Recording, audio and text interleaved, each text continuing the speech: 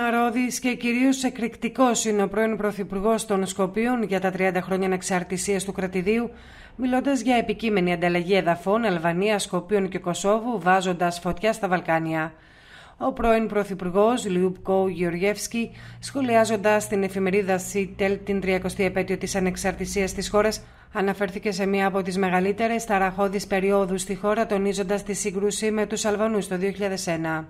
Η ιδέα της ανταλλαγής εδαφών και πληθυσμού με την Αλβανία δεν ήταν μόνο δική μου, αλλά ξεκίνησε και από ακαδημαϊκούς και άλλους αξιωματούχους, οι οποίοι στη συνέχεια αποχώρησαν.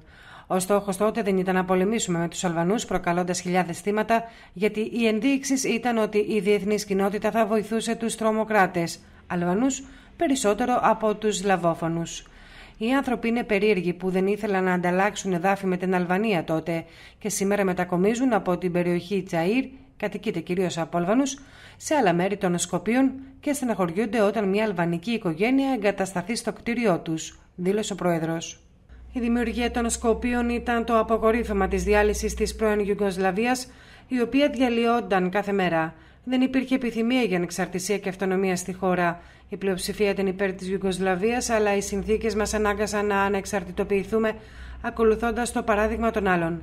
Φοβόμασταν ότι ο Ιουγκοσλαβικός στρατός θα έκανε πραξικόπημα και θα εγκαθίδρυε δικτατορία. Ευτυχώς αυτό δεν συνέβη αφού τα Σκόπια δεν ήταν στις προτεραιότητες του Μιλόσεβιτ και δεν υπήρχε μεγάλη σερβική μειονότητα στη χώρα, κατέληξε ο Γεωργιεύσκη.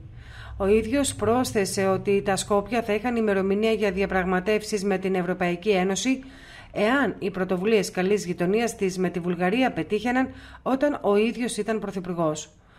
Όσον αφορά την τρέχουσα πολιτική κατάσταση στα Σκόπια, είχε αναφέρει ότι οι Σκοπιανοί που λένε ότι είναι Μακεδόνες ήταν οι μεγαλύτεροι πλαστογράφοι στην ιστορία των Βαλκανίων και ότι θα τους καταραστεί ο Θεός, επειδή εγκατέλειψαν το Άγιο Κλίμη και τον Άγιο Ναούμ.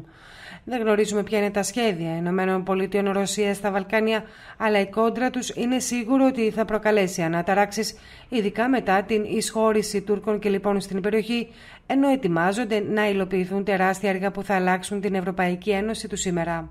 Ευχαριστούμε που μας παρακολουθήσατε. Αν σας άρεσε αυτό το βίντεο μπορείτε να κάνετε like και εγγραφή στο κανάλι μας για να λαμβάνετε πρώτοι όλες τις νεότερες εξελίξεις. Μην ξεχνάτε να μας κάνετε σχόλια με την άποψή σας, καθώς η γνώμη σας είναι πολύ σημαντική για εμάς.